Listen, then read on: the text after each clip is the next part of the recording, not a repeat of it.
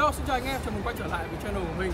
À, Và sau khi là gần như cả cái Việt Nam được trên tay hết iPhone 11 với 11 Pro Max rồi Thì à, bây giờ mà mình vừa mới mua được một con uh, Pro Max nguyên siêu. Trong kia Rồi, bây giờ chúng ta sẽ cùng nhau unbox luôn để xem là chiếc iPhone 11 Pro Max năm nay nó sẽ có gì hay ho và thú vị. À, cái điểm đầu tiên khác biệt đấy chính là cái vỏ hộp. Thì năm nay chúng ta sẽ có hai màu khác nhau và cái dòng Pro thì sẽ chuyển qua một màu đen. Đen như thế này chắc là Apple nghĩ là màu đen thì nó Pro hơn. Maybe à, còn đối với những chiếc iPhone 11 thì nó sẽ là vỏ hộp màu trắng. Wow. Và đây là cái um, iPhone 11 Pro Max của chúng ta phiên bản màu Midnight Green.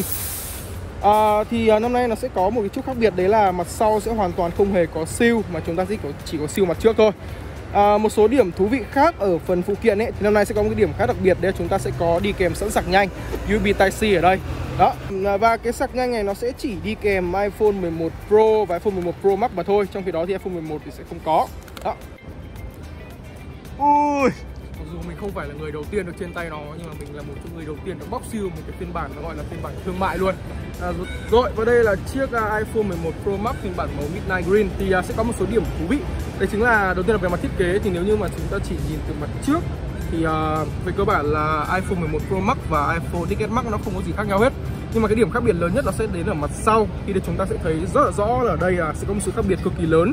Đối với XS Max thì à, cái mặt lưng của nó sẽ là mặt lưng kính và nó sáng bóng như này. Trong khi đấy thì ở trên iPhone 11 Pro Max thì sẽ chuyển qua một cái dạng mặt lưng mới là mặt lưng nhám như thế này à, nhìn nó cực kỳ khác biệt và có lẽ là các bạn sẽ phải cầm trên tay trực tiếp thì mới có thể thấy được là cái iPhone năm nay cái cảm giác cầm nắm nó khác như thế nào. À, chúng ta sẽ có một cái điểm thú vị nữa đấy chính là về mặt camera. Thì um, thú thật là khi mà nhìn một số tấm hình ấy thì nó sẽ khiến cho mình có một cái cảm giác gì đấy là những cụm camera này nó sẽ rất là lồi. Nhưng thực chất thì khi mà chúng ta đặt cạnh nhau thì phần nào có thể thấy được là bản thân camera XS Max có khi nó còn lồi hơn là camera của cái 11 Pro Max này. Đây mọi người nhìn thấy rất là rõ ở đây đó ngoài ra thì sẽ còn có thêm một điểm thú vị nữa đấy là mặc dù nguyên mặt lưng của iPhone 11 Pro Max à, là mặt lưng nhám nhưng mà cái cụm camera thì nó sẽ là à, trong suốt như thế này. Nó sẽ ngược lại so với iPhone 11 Rồi vậy đi sâu hơn vào bên trong chúng ta sẽ có những cái thay đổi gì? Cái thay đổi đầu tiên mà mọi người cần phải biết Đấy chính là cái nguyên series dòng iPhone năm nay đã hoàn toàn loại bỏ đi 3D Touch. Chúng ta sẽ chỉ có haptic touch thôi. Đó nó dạng như thế này. À, có nghĩa là Apple đã khai tử 3D Touch trên toàn bộ sản phẩm của mình rồi Sản phẩm trong năm 2019 Và cái điểm nâng cấp thứ hai nữa Đấy chính là chúng ta sẽ có một cụm tới 3 camera. Thì nó sẽ hoạt động như thế nào? À, Chúng ta sẽ thấy rõ là đây là cái giao diện chuyển đổi giữa ba camera Camera góc rộng này camera chính và camera tele. Thì mọi người có để ý là màu sắc ở cả ba camera này đều hoàn toàn giống hệt nhau. Thì đây là cái điều mà Apple có nhấn mạnh rất là rõ đối với cụm ba camera này. Đấy là cân chỉnh màu sắc các thứ cho nó như kiểu là các bạn chuyển qua, chuyển lại, các bạn quay phim chụp hình ấy, thì nhìn chung là màu sắc nó sẽ không hề thay đổi một tí nào. Đó, và ngoài ra thì camera tele cũng sẽ được nâng cấp với cái khẩu độ lớn hơn là f2.0 À, một trong những cái nâng cấp khá là thú vị nữa đấy là chúng ta sẽ có một cái chế độ là night mode nhưng mà mọi người nhìn thấy là sẽ không thể nào mà bật nó lên tùy được mà nó sẽ chỉ khởi động khi mà chúng ta chụp trong điều kiện thiếu sáng như thế này. Nó sẽ hiện ra một cái night mode của chúng ta. Đó mọi người nhìn thấy không? Có một cái biểu tượng hai giây kia. Đây chính là cái night mode mới ở trên iPhone 11 uh, Pro, iPhone 11 Pro Max cũng như là iPhone 11 Ngoài ra thì camera trước cũng sẽ được thay đổi. Mọi người nhìn thấy là sẽ có một cái biểu tượng ở đây. Chúng ta bấm ra thì sẽ có một cái góc selfie nó rộng hơn. Đó đấy. xoay xoay máy đó. nó cũng đổi góc đấy. Em em em đang định nói cái đấy. Ngoài ra thì khi mà chúng ta xoay ngang máy ra thì nó cũng sẽ auto đổi.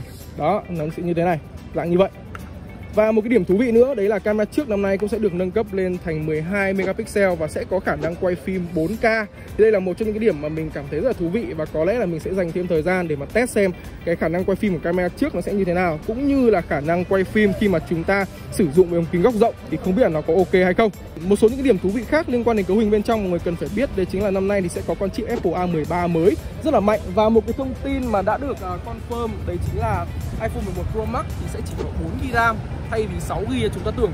À, ngoài ra thì đây cũng là một trong những thiết bị iPhone có mức cái dung lượng pin cao nhất từ trước đến nay 3969 mAh.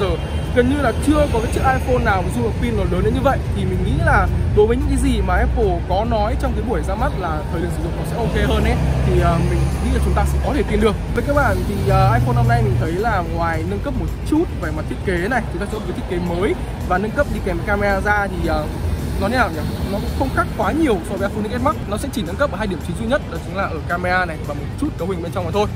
Và đây là một cái bài trên tay rất là nhanh, một cái phiên bản iPhone 11 Pro Max, phiên bản thương mại luôn. Thì mọi người cảm thấy sao về cái máy này? Um, đây có lẽ sẽ là một trong những cái máy sẽ gây được nhiều sự chú ý trong thời gian tới đặc biệt là cái cụm camera của nó chưa bán ra thôi và đã gây quá nhiều tranh cãi rồi ngoài ra thì mọi người cũng đừng quên là ở Xiaomi sẽ có cho mọi người pre-order uh, iPhone hàng VNA với mức giá cực kỳ ok thay vì việc là phải uh, ra Apple Store xếp hàng từ hôm qua đến giờ thì mọi người có thể ngồi nhà và đặt hàng ở Xiaomi.